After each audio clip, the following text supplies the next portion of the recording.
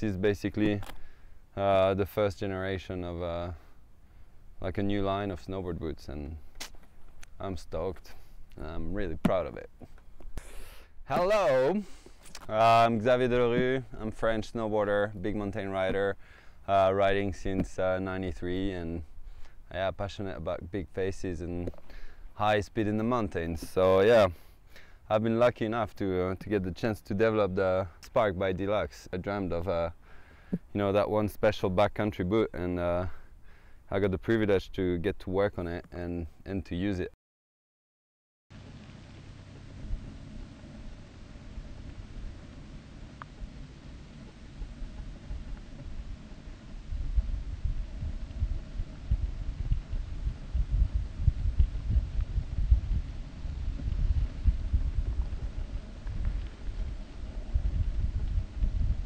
The unique thing about this boot is the first time that there's been a Vibram outsole with a total mountaineering shape on a snowboard boot. And um, my first thought was um, oh well it's gonna be great in the mountains but probably when you ride the park or on a hard pack in a resort it's gonna it's gonna probably touch you know feel higher and stuff but it just feels like a normal boots which you can do everything with. And there's a huge advantage also walking around on ice on any kind of terrain and um, well I would say this is the perfect boot to have in the mountains.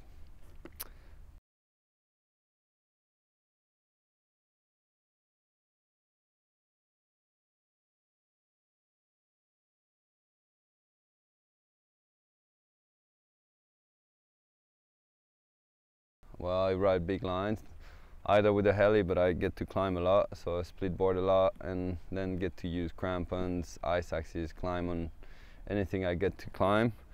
And um, I need really good uh, boots because uh, you know, like, like being comfortable in on your boots is a mandatory thing, and having a good grip is probably something that can keep you alive sometimes. So, yeah, I'm pretty happy about the Spark.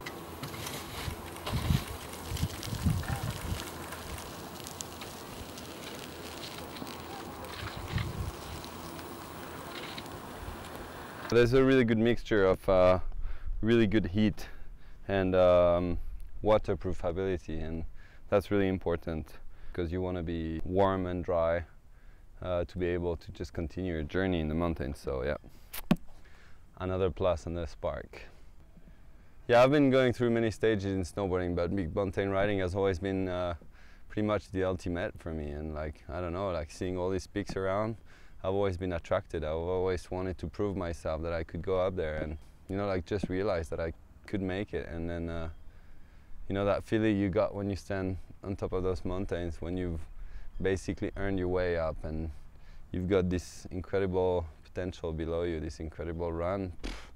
I don't know, this is just priceless.